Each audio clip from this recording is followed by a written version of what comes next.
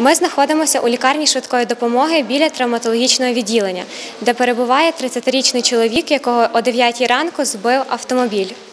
Травмований велосипедист Віктор Хаблюк розповів, як трапилася аварія. Їхав на роботу від готелю Тернопіль як до Орнави вниз по головній дорозі. І з правої сторони е, дівчина на Opel Insignia не пропустила. Мене відкинуло на тротуар. Я тоді якби фасад будинку рульом і потім впав. Вона втекла, не зупинилася, поїхала далі. Черговий травматолог Тернопільської лікарні швидкої допомоги Андрій Обаранчук розповів, які травми отримав велосипедист.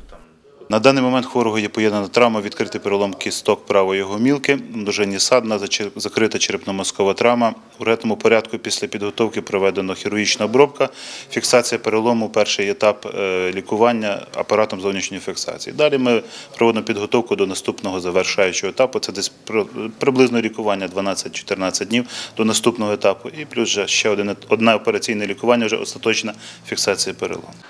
Наталя Бельзецька, Андрій Прокопів. Новини на Суспільному. Тернопіль.